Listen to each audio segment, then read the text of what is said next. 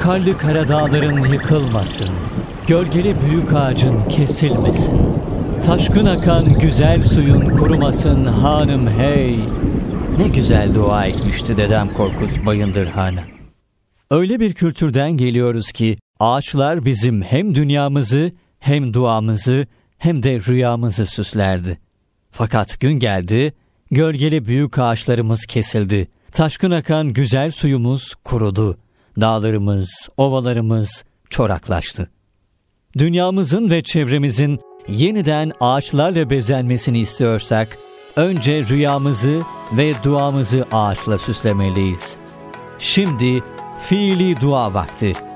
Hepimizin hayalindeki dünya için yeni bir adımı gelin hep birlikte atalım.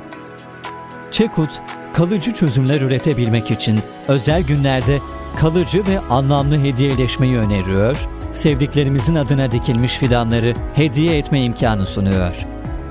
Sizler de dikiliağacımvar.com projesiyle yakınlarınızın özel günlerinde kendi adınızda fidan hediye edebilir, ayrıca ziyaret, konferans, panel, seminer ve benzeri kurumsal etkinliklerde konuşmacılara ve protokole plaket, çiçek buketi ve benzeri yerine fidan sertifikası takdim edilmesini sağlayabilirsiniz.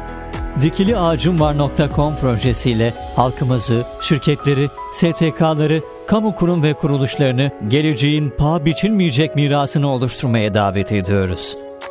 Karlı Karadağlarımız yıkılmasın, gölgeli büyük ağacımız kesilmesin, taşkın akan güzel suyumuz kurumasın. Çekut, Çevre Kuruluşları Dayanışma Derneği